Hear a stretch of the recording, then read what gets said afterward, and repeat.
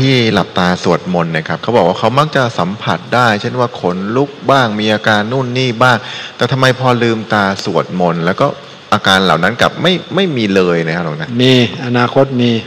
อ๋อเพราะตาเห็นรูปเนี่ย จิตจะสัมผัสนามธรรม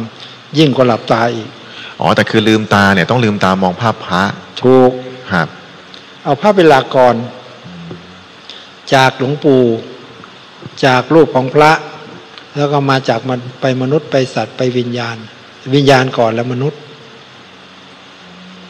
วิญญาณเนี่ยมันเวลาเราจะสัมผัส มันจะมีความรู้สึก ว่าเขาขอนี่มีความรู้สึกไม่ไม่เห็นก็มีความรู้สึกครับโอ้เอาจริง คนลุกมั่งครับเออผมรู้สึกมาจากไหนเอาคนลุกอืมมันจะขึ้นของโลกวิญญาณขึ้นของขึ้นของบุญนะเพ ราะอย่างเวลาที่เราไปบางสถานที่มันมีความรู้สึกว่า มันต้องสวดให้เขาต้องแผ่ถูกให้เขาเลย นั่นนะคือความรู้สึกแหละและสวดน้อยก็ไม่ได้บางบางที่ต้องสวดเยอะกว่านี้ นั่นนะคือความรู้สึกอืมในศาสตร์ที่หลวงพ่อท่านสอนเนี่ยครับ คือเป็นประโยชน์กับตัวเองอะเป็นประโยชน์กับตัวเองก็ต้องบันทึกตัวเองบ่อยๆก็อยู่กับคลื่นของบุญบ่อยๆมันก็เป็นประโยชน์กับธาตุขันธ์เราอยู่แล้วเนี่ยดินน้ำไฟลมที่เราควบคุมอยู่เนี่ย มันก็แก่ชาโลกน้อยอายุยืนอยู่แล้ว ธรรมชาติอยู่แล้ว เพราะอย่างเอาจริง ๆ ความเชื่อความศรัทธามันก็ต้องใช้เวลาใช่ไหมครับหลวงตาเออเราเรียนปอตรีมันก็ตั้งสี่ปีนะทุกฐานนะเราฝึกกรรมฐานเนี่ย มันก็ต้องประมาณนั้นแหละปีขึ้นไปอะครับหลวงตาถึงบอกให้เราทำไปเรื่อยๆค่อย ๆทำใช่ คนโบราณจะบวชทีต้อง สี่ห้าปีนะก็จะบวชก็จะบวชให้ครับ บวชแล้วต้องอยู่กับอุปชฌาย์อีกสี่ปีนึงก็จะเป็น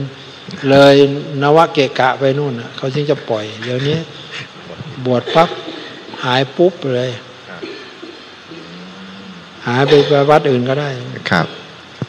แล้วเขาบอกว่าที่หลวงตาบอกว่าถ้าสวดไปเรื่อยๆเนี่ย เดี๋ยวมันก็จะคิดออกเอง แต่บางคนเนี่ย สวดมาก็นานแล้ว แต่ก็ยังคิดไม่ออกเขาเลยถามว่า ไอ้คำว่าคิดออกของหลวงตาเนี่ยคือคิดในเรื่องราวะไในตัวเองนั่นแหละ เรื่องราวเรื่องที่มีปัญหากับตัวเองนั่นแหละครับไม่ต้องคิดถึงเรื่องคนอื่นหรอกอืม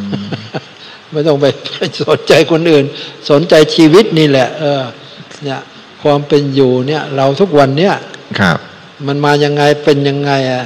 มันมาจากกรรมล้วนๆจะแก้ไขยังไง เนี่ยอืเออมคิดไม่ออกก็เป็นไปไม่ได้หรอก ออกแน่นอนน่ะ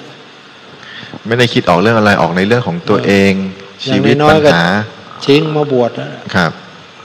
คิดออกสุดๆแล้วทิ้งบวชเนี่ย เอาทิ้งไปเลย